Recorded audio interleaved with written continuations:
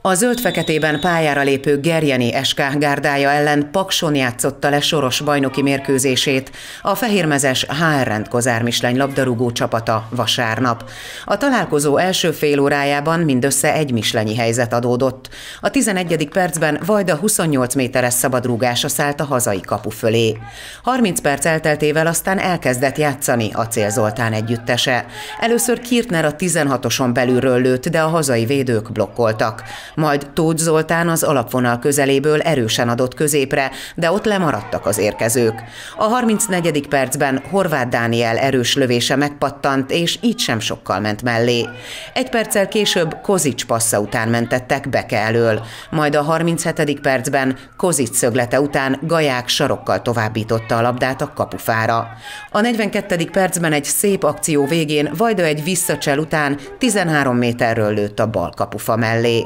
A 45. percben aztán górra váltott egy támadást a HR rend Kozármisleny. Kirtner balról vitte befelé a labdát, majd 17 méterről leadott lövése a vetődő kapus hasa alatt a hálóban kötött ki. Így a lehető legjobbkor a félidő utolsó pillanataiban sikerült megszerezni a vezetést. A fordulás után ott folytatták a mislenyiek, ahol abba hagyták.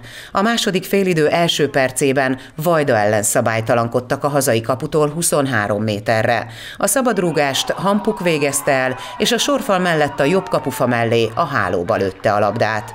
A két gólos előnytől túlságosan megnyugodtak a mislenyiek, és az 59. percben egy baloldali szabadrúgás után átszállt a labda a hosszú oldalra, ahol Maka egy visszacsel után lövésre vállalkozott, és a labda a kapufa belső éléről a hálóba vágódott. A 69. percben Vajda szögletét Horvát fejelte a kapu fölé. A 74-ben Kirtner szép csel után gurította vissza a labdát, de pontatlan lett az átadás. Két perccel később Szabó Dominik lövését ütötte szögletre a Gerjeni kapus. A 78. percben Vajda szép csel után ívelte a labdát a hosszúra, de az érkező Szabó Dominik elől ismét szögletre mentettek. A 84. percben Horváth Dániel fejelt a kapu fölé. A hajrában egy mislenyi kapu előtti kavarodás után a 16-oson belül lőttek a gerjeniek, de blokkolt a védelem. A HR Kozár Misleny labdarúgó csapata így 27 meccses veretlenségi sorozaton van túl. A Zoltán együttese győzelmével újra 7 pontos előnnyel áll a Dunaújváros ellen a ranglista élén. Április harmadikán rendkívül fontos mérkőzés vár a Mislenyi csapatra, hiszen a harmadik helyezett Balassa gyarmat érkezik.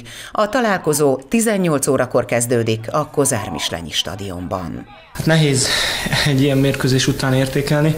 Sajnos nem azt a játékot és nem azt a minőséget tudtuk hozni, mint amit elterveztünk, mint ami meg volt beszélve.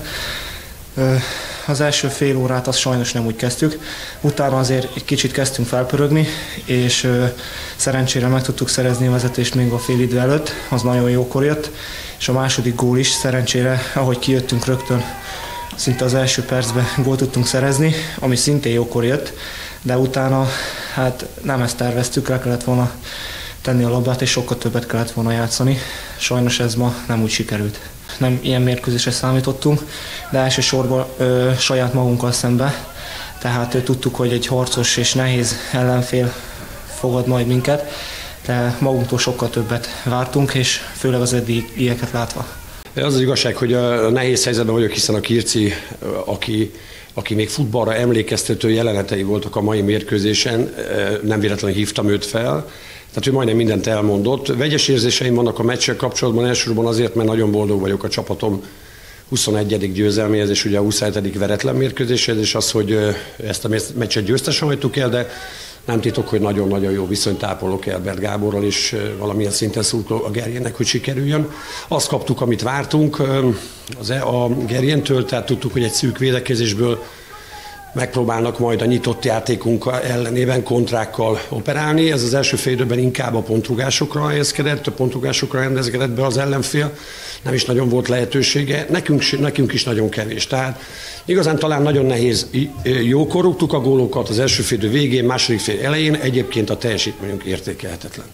Ez egy kicsit baj, hiszen ennél többre számítottam. Ez egy olyan csapat, amelyik azért kultúrált, tehát itt nem voltunk agyorugdosva, nem volt olyan mérkőzés, amiből nekünk ezt a, ezt, ezt a förtelmet kellett volna hozni, és ezt azért mondom nem bántva a játékosaimat, ők is emberek, és azért 27 mérkőzésen veretlenek, akkor eljöhet egy ilyen mérkőzés, de egyértelmű, hogy erre le kell ülnünk, és erről beszélgetnünk ez egy gyenge futball volt. És ez semmilyen érdemet nem veszel, és nem volna semmit a Gerjé munkájából.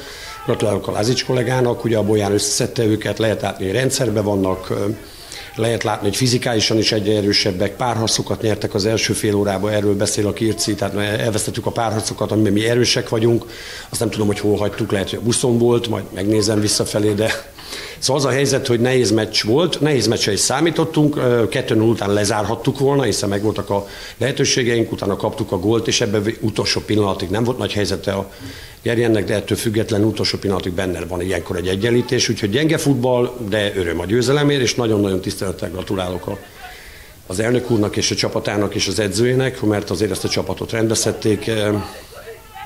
Igen, masszív kis csapat benyomását keltette, nehéz dolgunk volt.